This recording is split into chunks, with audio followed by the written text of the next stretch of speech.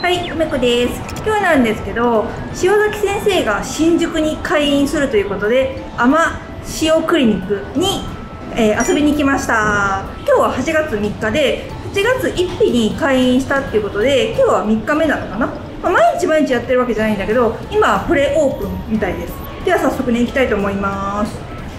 このビルの地下1階でまだ名前がないです。ちょっとあの、エレベーターがボロボロなんですけど。1階です。で、えっ、と、あのショークリニックです。歌舞伎町のほど近くにね、対応させていただきました。こんな、ここって実はね、こう美容外科の激戦区で、近くにね、いろんなクリニックがあるんですけれども、まあ、その中でね、自分のカラーを出していこうと思ったときに、やっぱ基本的にはこう、形成外科専門やなので、私は。はい、そうです先生。ありがとうございました。じゃあね、皆さん、アマショクリニックも、アマソルクリニックも、そして医学部受験塾メディケイトもぜひよろしくお願いします。それではまたね、バイバイえっと、お疲れ様こです。れです。元気元気です。遊びに来ました。早速。おめでとうございます。ありがとうございま会す。あ、体調いかがですか？体調だいぶ回復しました。あ本当ですか？実はね、前回の撮影中、お腹痛くて、結構巻いてたんですよ。え、そうなんですね。え、そうなんだ。そうなんです、実は後半なんか、きつねお腹痛くなってきて、マジやべえ。すぐ帰りましたもん。でしょ？うんそう。本当に珍しく本当にすぐ帰って。でしょ？お腹痛くてあの時そうそう緊張のためですか？会員の。なんでしょうねだから体調はね食べ過ぎかも食べ過ぎ？そうあれでもなんか甘空ちょっときつすぎて痩せたとか言ってませんでした？あそうですあの食べてる暇がなくてね、うんうんっていう感じですねそうですね。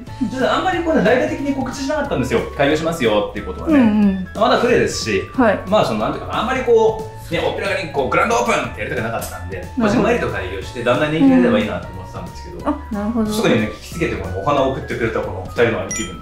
ああ、いやでもあの私の動画でお花迷惑っておっしゃってた。言ってましたよ。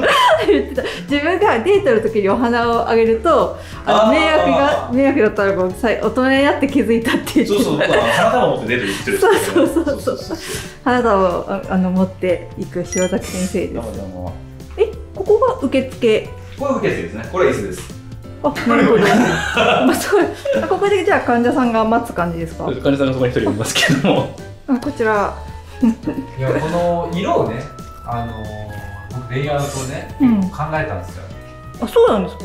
グレーにしようって言ったんですよ、まず。うんうんなんでって、床が汚れるから、はい甘さの床汚いじゃないですか。あ白いから？そうなんですよ。確かに仕事ちょっと最初は綺麗なんですよ、白は。うんなんですけどね、まあ汚れますよねってことでグレーにして、最初グレー待って掃除めんどくさいからじゃんそれ。いやあれ落ちないんですよ。あ確かにね。でグレー茶だったんですけど、うん。ちょっと地味だったんで、うん。グレーとブルーっていうやっぱこのねかこの色好きなんですよ、うんなんかいいですね。これ隙がある感じ。そう。おしゃれ。そう。でぜひねちょっと廊下とかも見てほしいんですけど、えっと私ご案内しましょう。うんあお願いします。ちょっとデザイナーズマンションみたいな感じでゴミが。すでもこういうのもなんかいいじゃないですかそう、このように、かようにこう廊下がね、こう、はいブルーの差し色が入ってる、これも実はね、あの細井君のあのアドバイスなんですけれどもめっ。ちゃなんかおしゃれなんですよえどうしたんですか？あでもなんかいいですね高級マンションにいる来たみたいそうなんです。へえで、このようにこう複数のカウンセリングルームですね。いっぱいある1、2、3、4つもある。ですね。あでも迷わないですねそう、そしてこちらが、えースキンの施術をするお部屋になります。ちょっとまだ段ボールが山失礼します。お邪魔します。あこの辺はアマソラ風なんですね。ちょっと似てる。あそう似てる。これルメッカちゃんだからこれ。これ何ですかルメッカちゃんルメッカはフォトフェイシャル IPL ですね、うん。より光治療器。なるほど。そうですね。まああのアマソラにヤグレーザーってあのね、あのうんトーニングの機械があったと思うんですけど、うん。まあよくそのトーニングと IPL ってね、こう比較されて、あのトーニングがいいんですか IPL がいいんですか。まあ両方とも得意分野が違うんですけど、このルメカっていうのはこうやっぱりね IPL の中でも最も切れ味がいいと言われている。うん。もう大体7、800万ぐらいする機械なんですけど。そうなんだこれめちゃめちゃね、やっぱすごい人気なんで、いろんな美容皮膚科が、まあこれで儲かってるっていう話をよくあ なんだっけ？なんか最近キャンペーン売ってた何ですか？出れましょう。デルマシオは違うんですか？デルマションは、えっと、今一応渋谷だけ。あそうなんだ、はうん。こっからここにパッといけるこう効率重視なのは甘空風だねさっと看護師さんが急にこうこう移動するっていう えーみたいなこっから来んのみたいなそうやっぱカーテン手入れは結構鉄板かなって感じですね、やっぱ機械の色が、そのしなきゃいけない場合が多いからそうするとどうしてもその蛇腹とかにすると結構手間なんでうんうん。ここがよくパウダールームですね皆パウ様ダールーム。段差にご注意と、はいはいあ、なるほど。あ、確かに結構高いですね。そうちょっと高いよ。へえ。あります。なるほど。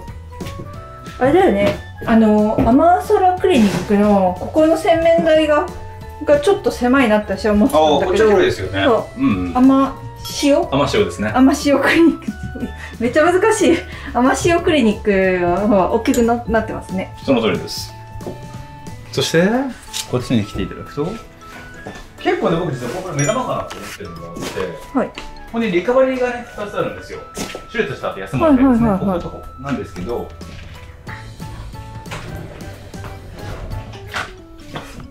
まあここもねまだ今準備中なんですがうんうん。オペ室からね要するに直接これリカバリーに来るんですねうんうんうんオペ室からリカバリーに来てこのままそっちトイレの方にも出られるし帰ることもできる、なるほど。そう要するに連続性が保たれているということですね。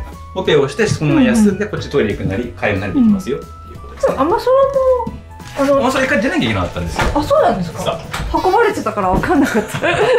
なるほど。へえ。こちらにもリカバリーがもう一つ。ここ。そうです。あ、こうやってパッといけるんですね。そうです。まあまた多分ここで寝ることが私ありますね。そうですねはい。明日でも明後日でも。いやいや。こちらにもうすでに稼働しているオペ室ですね。今日もね、手術実はが何件かありました。あ、そう、今日あったんですか？もうすでにありました。あ、そうなんですね。もう始まっております。へえ。マジで？こっちがまだ準備中なんですけれども。はい。オペ室二つあるんですか？ちょっとこれはなんか透明だけにしておいてください。はい。こちら第二オペ室が、なるほど。へ第二オペ室がかなり本格的なオペができる。え、本当だ。オペ室になっておりまへす。えすごい。いやー、ちょっと楽しいですね。へえ。な感じですね。あとはあのバックヤードです。うんうん。あの決してねその椅子がねたくさんあるわけじゃないんですけれども、うんあのまあこのようにまあこのコロナ禍でもねやっぱこう皆さん気にされると思うんで一応こう間仕切りがちゃんとあって、あ、それはコロコロナ禍のあれなんですか？ねそれも。ありましてやっぱプライバシーをやっぱ保たなきゃいけない。あ確かにですね。うんね。ちょっと嫌がる人いらっしゃいますもんね、やっぱり。そううん、そう基本的に。はその番号でお名前を呼ぶシステムですね。梅田梅子さんとか言われることはないですよ。でもなんかここのビルってそこまであの綺麗なビルじゃないじゃないですか ぶっちゃけ。だからもう入店ビルですからね。そうそう。あ入るときちょっと不安になる人がいるかもしれない。まだね。看板を出してないんで、うん。あの食クリニックのね。そうそう。でも入ってみるとすごい綺麗だし、あのまあいい病院だし。もうねすでにもう8月の手術にしたら予約がいっぱいというね。はい。あ私も受けるんでよろしくお願いします。何それ。うん意図でしょどうせみたいなでも、たくさん予約もいただいていて、9月の方で予約が入り出しているので、そうそうそう、実にありがたい話です。なるほどあそうなんですね、ううん。塩崎先生といえば垂れ目尻切開が得意のイメージなんですけどあれはやっぱ塩崎先生しかできないんですか？そんなことないですけど、あのなんか一応まあ僕限定中になってますね。そうそう。なんか甘空のメニューで、うんそあの塩崎医師限定ってあったんで。僕が一番やってるからじゃないですか。ああれはね、僕オリジナルの先生じゃなくて、あれはね、韓国の先生なんで、丸丸パクリとかコピーさせていただいて。ちょっと別にあのだから別にね、あのそんな高いお金取る気もないですし、はいはい、そうそう。個人的に勉強させていただいて、うん、ああれこれいいじゃないっていうことで、は何なんですか？すごい気になっててあの私垂れ目尻切開を塩崎先生にやってもらいたいってまあ相談したじゃないですか。そうでしたっけ？そうなんです。本当覚えてないんです。ちょっと塩崎先え、生テストールかもちょっと待ってね。これもすぐちょっと。こっち見る。もういいんじゃない？やってもいいと思いますよ。あ本当ですか、うん、うん、全然あり。へえどんな感じになるんですかイメージはね、うん普通の目尻切開ってこう横にこうやってピッて切るだけなんですけど、はいはいああんまり効果出ない人が多いんで、うんこの部分をね、こう右下にこう下げてあげる感じ。うんうんうんうんそう、ここの、ここの着地点を広げてあげる感じかな。なるほどで何がいいかっていうと、こう目尻切開やりすぎると、こうみんなここが近くなっちゃうんですよね。こうグバッて開いて。うんそれが嫌なんで、そのここを鋭角を保ったまんま、横にこう大きくしてあげる。別に垂れ目作るわけじゃないですよ。ただその目の白目の外下方を広くしてあげるような意味ですね。なるほど。そうそう。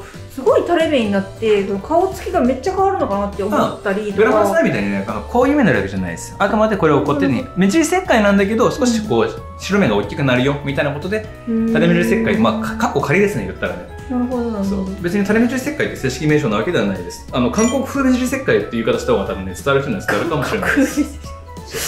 もう一回やってもらっていいですか？もう一回シミュレーションやる気だって。へこういう感じかな。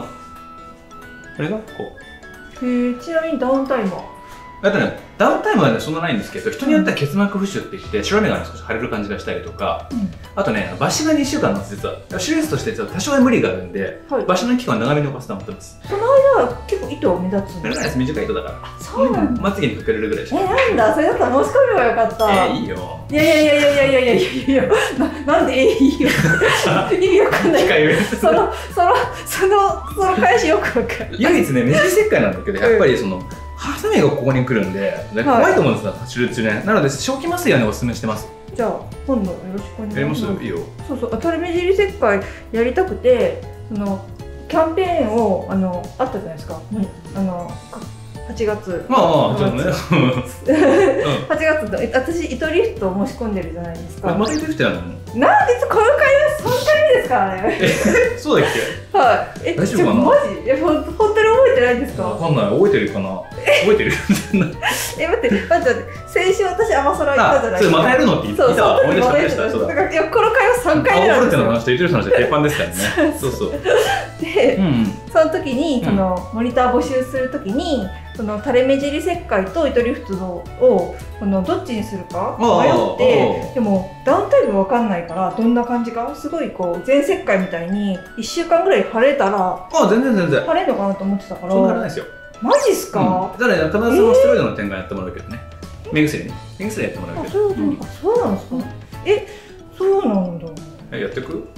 ちょっと時間したいな。ちょっとこれ調整です、後で。わあの、かりましたテレビの中で特別ができないんで。わかりましたそうそうそうそう。あの なるほど、梅子さんの後の人がね、ずい待たされちゃったら、うんあ、梅子だからなんか、特別にやったみたいになっちゃうじゃないですか。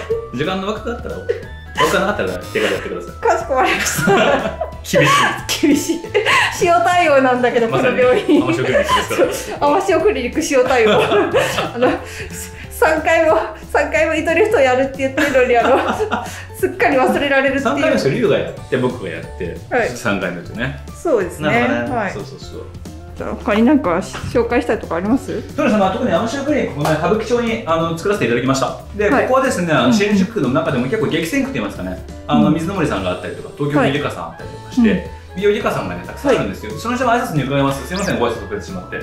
で、えっと、あのーやっぱりね、お客さんたくさんいらっしゃると思うんですよ。あの一般のお客さんもいらっしゃいますし、はい。あのいわゆるねその夜のお仕事の方といいますかね、うん。あの派手な顔にしたい方全然いらっしゃると思うんです、うん。全然大歓迎です、うん。あのどんな方でもあの、うん。安心して受けられてかつ料金がね非常にこう明瞭会計であるというのを目指しております、ね、基本的には私が責任持って対応しますのではい。あのどんな相談でもねあの小さいスキン施術から大きな手術まで何でも相談してください。わかりました。普通のアピール。PR 動画マリアバ 塩クリニック動画撮ってるみたいそういう甘塩クリニックっていうのはですね、はい。世の中僕何でもこうバランスだと思ってるんですね。こう甘塩クリニックっていうのはね、別に甘空と塩だけで甘塩クリニックじゃないんですよ。ね。甘さと塩辛さ、こうね、こういうこういわゆる世の中のバランスですね。はいこのバランスの調和を取る美容クリニックという意味で、はい甘塩クリニックとね、名付けたという説もあります。